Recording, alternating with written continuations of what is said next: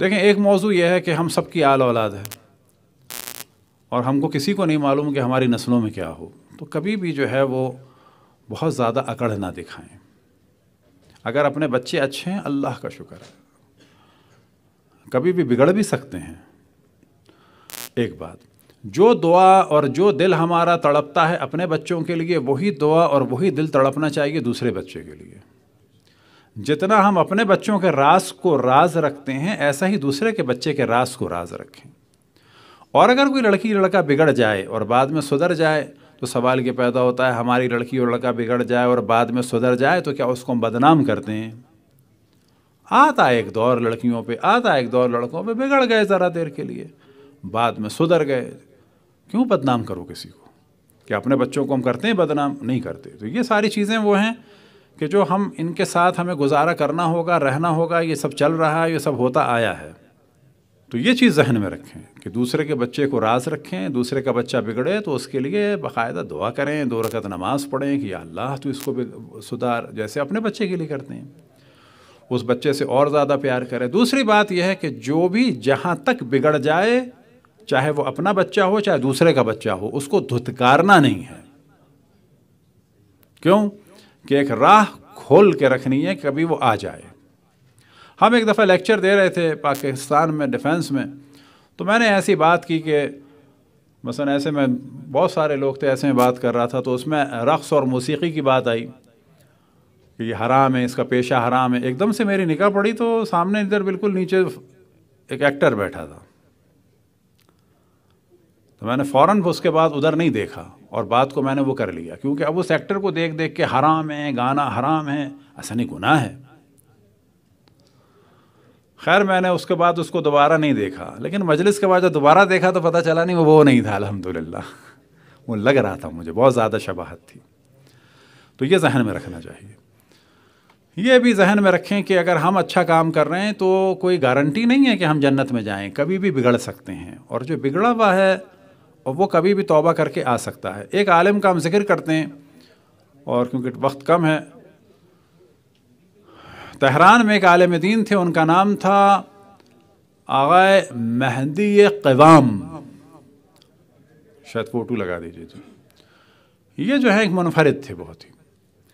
ये आगा मेहंदी क़वाम जो थे, इनके पास इजाज़ इश्तहाद आयतुल्लाज़मा अबुल हसन इसफ़हानी का भी था आयतुल्लाज़मा अब्दुल करीम कश्मीरी आयतुल्लाज़मा अब्दुल करीम हायरी का भी था। पूरे तकरीबन साठ साल पहले दुनिया से रुखसत हुए हैं, पूरे साठ साल पहले।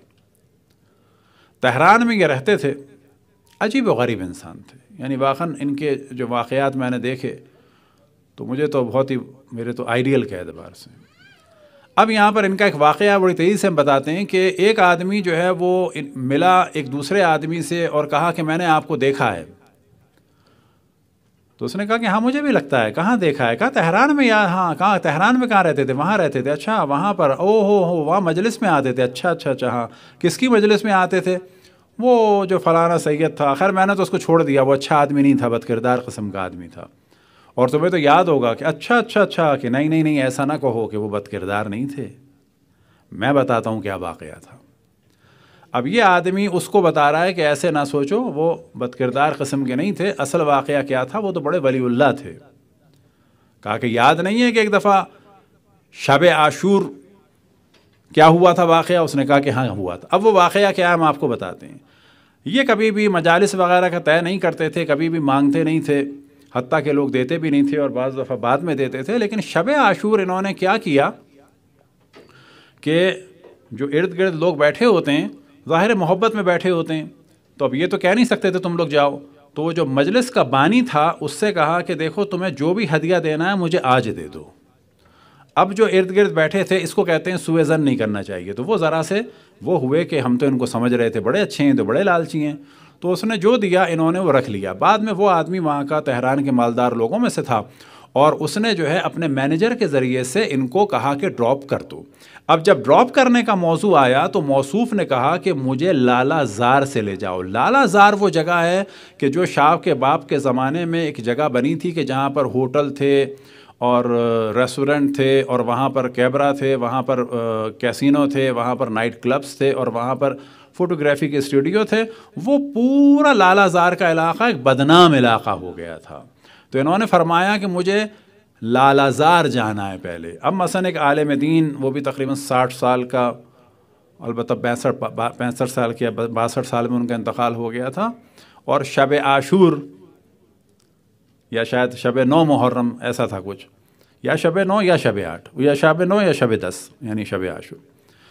और वो मैं मैनेजर से उसके जो ड्रॉप करने जा रहा है और साथ में वो मुरीद भी बैठा है, ये वही मुरीद है जो बाद में उनको बुरा कह रहा था। तो उन्होंने कहा कि मुझे लालाजार जाना है। लालाजार जाना है?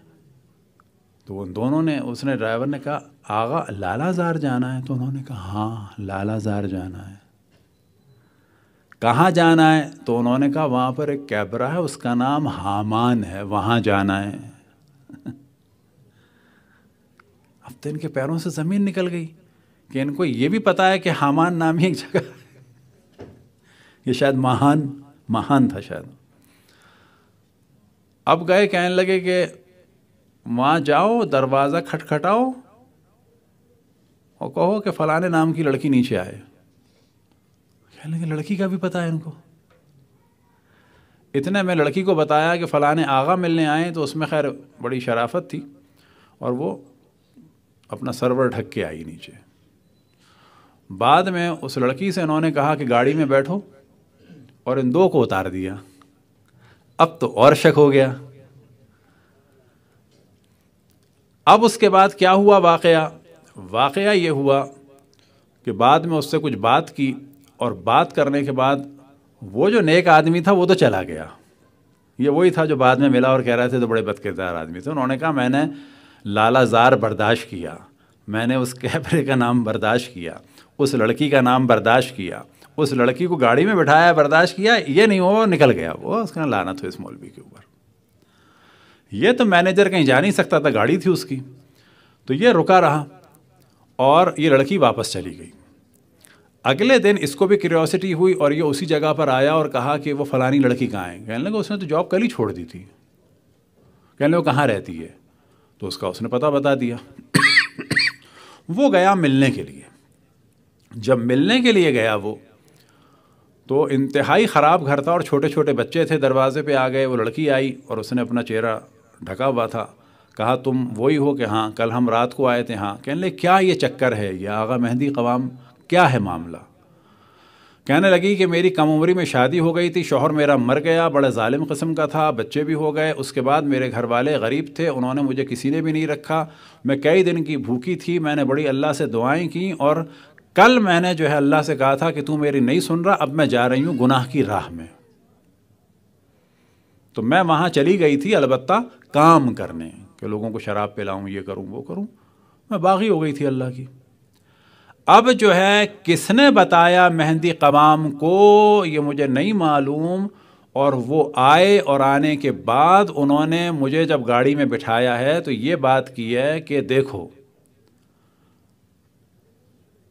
तुम परेशान हो, मैं जानता हूँ। ये मेरे जेब में लिफाफा है इमाम हुसैन की मजलिस का। इसमें क्या है, कितना है मुझे नहीं मालूम। ये मैं तुम्हें दे रहा हूँ, इसके पीछे मेरा एड्रेस है। मेरी सिर्फ़ तुमसे गुजारिश और दरख्वास्त ये है कि ये रख लो और जब तक ये है, तुम गुनाह ना करना। और बाद में मुझे बताना जो हो सकेगा मैं करूँगा। इस लड़के ने, मैनेजर ने इस लड़की से शादी की, उसके बच्चों को पाला और अब इस मैनेजर की मुलाकात हुई थी इनसे। तो ये जहन में रखें कि अपना कोई भी हो, कितना बिगड़ सकता है? रक़्स में, मौसीकी में, फ़िस्क में, फजूर में, उरियानियत में, फहाशियत में, जहाँ तक वो चला जाए चला जाए चला जाए, लेकिन हमको उसको नहीं छोड़ना है और अल्लाह सुबहाना व ताली की रहमत से मायूस नहीं करना है। कोई भी कभी भी आ सकता है और हम अपने आप को ऐसा ना समझें कि हम कभी नहीं पलट सकते। याद रखें एक गुनाहगार का बच्चा मरता है तो वो नेक हो जाता है। और एक नेक का बच्चा मरता है तो वो काफिर हो जाता है बाज़ दफ़ा। लिहाजा अपने ईमान पर गुरूर नहीं करना चाहिए। ये भी गुरूर होता है कि मैं बाईमान हूँ, बाईमान मरूँगा। ना ना ना अस्तफ़रल्ला या अल्लाह तेरा शुक्र है कि अभी कुछ ईमान है, या अल्लाह तेरा शुक्र है, अभी कुछ इबादत कर रहा हूँ। मुझे मरते दम तक बाईमान रखना इबादत की तोफ़ी मुझे देना।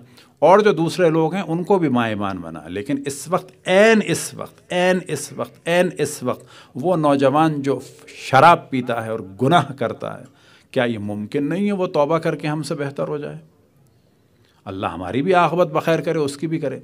ये जो सो कॉल दीनदार लोग, कि अल्लाह का शुक्र है वो मैं नहीं हूँ, जो ठेकेदार बनते हैं लोगों के डे ऑफ़ जजमेंट से पहले उसको जहन्नम में भेजते हैं और डे ऑफ़ जजमेंट से पहले अपने आप को जन्नत में डालते हैं। ना बाबा जी, ऐसा ना अपने आप को जन्नत में डालो, ना किसी को जहन्नम में डालो। है ना? अपने आप को भी जहन्नम में ना डालो। अल्लाह पे तवक्ल करो, अल्लाह से माफ़ी मांगो, उसके लिए भी दुआ करो, अपने लिए भी दुआ करो। लिहाजा, बहुत ज़्यादा ये जो अपने आप को लोग दीनदार समझते हैं, और उसके बाद बाज़ दफ़ा हम क्या सोच, जन्नत में जाएँगे? बाबा, क्यों जन्नत में जाएँगे? दुआ करो, अल्लाह हमें जन्नत भेज दे। ये किस चीज़ का नतीजा होता है कि हमें बहुत ज़्यादा ओवर कॉन्फिडेंस है? ये नहीं होना चाहिए। किसी गुनागार को देखते हैं, जहन्नम में जाएगा, बाबा क्यों जहन्नम में जाएगा? ये तौबा कर लेगा शायद और हम शायद अल्लाह ना करे, बिगड़ जाएँगे। तो गुनाह से नफरत होनी चाहिए। गुनागार से भी एक तरह का बाज़ दफ़ा दूरी ज़रूरी है, लेकिन ऐसा नहीं कि ख़त्म कर दें उसको बिल्कुल ताल्लुक़ को। एक आने का रास्ता बाकी रखना चाहिए, उसको अल्लाह की राह पर बुलाना चाहिए। दूरी रखने से क्या मुराद है देखें? ये एक अलग अलग मसला होता है। मिसाल के तौर पर यह है ख़ुद रवायात में कि बदनामी की जगह पे नहीं जाना चाहिए। अब बदनामी की जगह पे जाके क्या होता है कि इंसान खुद बदनाम हो जाता है। ये बिल्कुल अलग बात है। या ऐसे अफराद के साथ बैठना कि जो बहुत बदनाम हो और अपने बदनामी का ख़तरा हो तो ज़ाहिर है कि लिमिट रखनी चाहिए। लिमिट रखना अलग होता है। और जो हम गुफ्तु कर रहे हैं वो बिल्कुल अलग है। यदि आगा मेहंदी कवाम ने की किसी ने दावत की एक दफ़ा किसी बाग में तहरान के बाहर वहाँ चंद गुंडे कस्म के लोग आ गए और वो तंग करना चाह रहे थे इनको। और बाद में इन्होंने उनको नसीहत की, उन्होंने कहा, हम बहुत बुरे हैं ये। और वो उन्होंने कहा, नहीं, तुम बुरे नहीं हो, मैं भी तुम्हारे जैसा हूँ। जानते हो फ़र्क क्या है? तुम सीधे हो, तुम अपनी बुराइयाँ दिखा देते हो। मैं देखो तेज़ हूँ, मेरी बुराइयाँ छुपी हुई हैं। बड़े प्यार से उन लोगों को इतनी नसीहत की कि वो सब के सब उनके मुरीद हो गए थे। तो ये भी जहन में रखें कि एक आदमी अगर इस पर शराब पी रहा है, वो भी बुरा है। लेकिन वो लोग जो दो मियाँ बीवी में इख्तलाफ डाल रहे हैं, किसी को बदनाम कर रहे हैं, किसी को ऐब लगा रहे हैं, वो शराबी से ज़्यादा बुरे हैं। वो लोग जो तलाक़ें करा रहे हैं घर बर्बाद कर रहे हैं, लड़कियों को बदनाम कर रहे हैं, उनकी शादियाँ रुकवा रहे हैं, आप तस्वुर करें कि ये लड़की इस लड़के के लिए अहल थी, इस लड़की को आपने बदनाम कर दिया, इस लड़के से शादी नहीं हुई, ये लड़का भी पचास साल के लिए इसकी ज़िंदगी अपसेट अपसेट हो गई, इस लड़की की भी पचास साल के लिए ज़िंदगी अपसेट हो गई, किसकी वजह से कि आपने इस पर तहमत लगा दी? शराबी बुरा है कि आप बुरे हैं? तो ये जहन में रखें कि बहुत सारे गुनाह ऐसे हैं जो माफ़ हो जाते हैं हर गुनाह से बचना चाहिए। लेकिन वो लोग जो अपने आप को दीनदार समझते हैं, बज़ दफ़ा वो शराबी और जानी से ज़्यादा बुरे होते हैं क्योंकि उन्होंने किसी की ज़िंदगियों को बर्बाद करके रख दिया है। सलवात पढ़े, बर, मोहम्मद व आल मोहम्मद।